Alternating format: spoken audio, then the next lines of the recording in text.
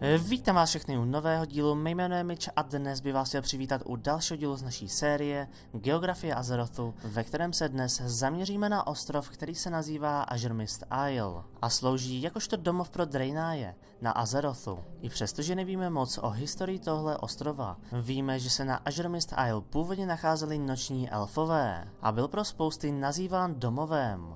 Bohužel tohle se postupem času změnilo, především od války prastarých, když elfové začali pomalu, ale jistě migrovat na jinší kontinenty, na jinší ostrovy, možná do Teldrazilu a možná do nějakých úplně jiných lokací, jelikož tenhle ostrov společně ještě s jedním, který se jmenuje Blood Mist Isle, se nacházel uprostřed Veiled Sea, daleko od úplně jakéhokoliv života, a proto to nebylo zrovna výborné místo pro elfy.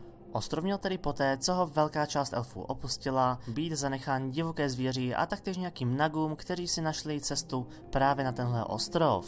A na Azurmist Isle se téměř nic nedělo, až tedy do pádu hvězdy.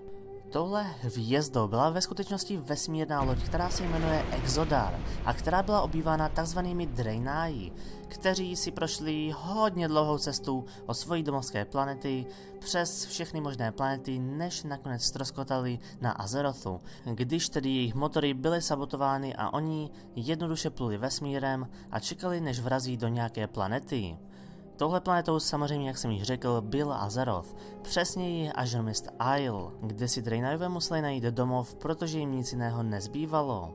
I přesto, jak tenhle pád byl katastrofický, Draenajové hned jak mohli měli začít s opravama téhle lodě a taktéž s napravováním škody, kterou způsobili na tenhle ostrově, když za pomocí jak samotného výbuchu, tak taktéž věcí z jejich lodě zmutovali velkou část zvěře na tomhle ostrově a to samozřejmě museli spravit. Naštěstí to se jim za dlouhou dobu podařilo a během kataklizmu nebo možná dokonce později téměř všechny škody, které oni napáchali, byly spravené. Draenajové zde avšak měli zůstat, založit si nový domov a díky diplomací proroka Velena, jejich vůdce dokonce kontaktovat alianci, ze kterou začali spolupracovat. Bohužel až na to, že plamená legie zautočila na tenhle ostrov, respektive spíše Exodar, se zde nic moc jiného nedělo. A proto si pojďme povědět něco málo, co víme o geografii právě tohle ostrova.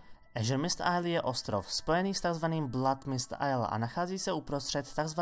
Veiled Sea, kde se nachází hlavní město Draenaju, Exodar a taktéž tři malé vesnice, které můžete najít roztrouštěné po celém ostrově.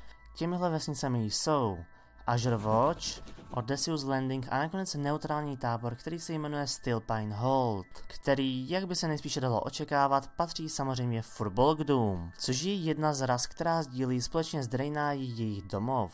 Mezi další rasy patří třeba Nagové, Noční elfové, nějací ti lidé, trpaslíci a gnomové, kteří se nachází ve hlavním městě a dokonce i nějací krvaví elfové. Zatímco v divočině samozřejmě ještě můžete narazit na nějaké divoké rasy, jako jsou třeba Wildkyní a nebo Murloci. Bohužel to je tak všechno, co si můžeme říct o geografii tohle ostrova, jelikož neznáme přesná čísla anebo ani přibližná čísla obyvatel, kteří se zde nachází a proto už nám zbývá jenom pár zajímavých věcí, které si musíme říct. Mezi tyhle zajímavosti patří třeba počasí. Počasí tohle ostrova je celkem divné. Aby jsme si to řekli na rovinu. Přistání lodi Exodar totiž způsobilo nemalé výchylky v tomhle ostrově. A to znamená, že pro příklad obří bouřky neboli tzv. thunderstormy jsou celkem normální věcí na tomhle ostrově.